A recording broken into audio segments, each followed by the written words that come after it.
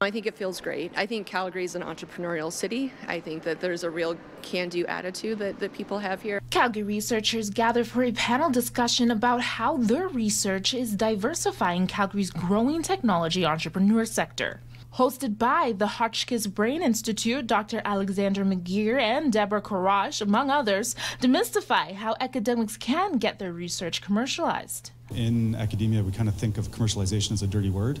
Um, and something that we really shouldn't be thinking about, but really what you're doing is you're, you're strategizing so that you're, you're, you're generating impact, you're generating value. Dr. McGirr is working on getting more people better faster with brain stimulation.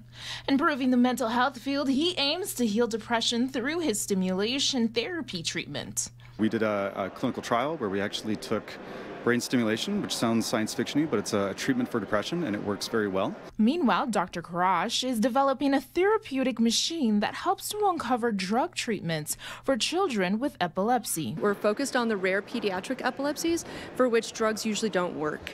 She says a lot of children in Calgary have unmet needs around therapies, especially in epilepsy, and there's a need locally to take care of kids. The Hotchkiss Brain Institute leads research in brain and mental health conditions. In the past several years, 30 new companies have been generated through the Institute. I think that's the most rewarding piece is that as we push on the technology, we keep being able to move forward. In Calgary, Latoya Powell, City News.